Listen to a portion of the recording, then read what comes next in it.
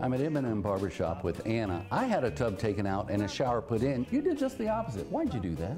Well, I had an outdated shower. I stand on my feet all day long.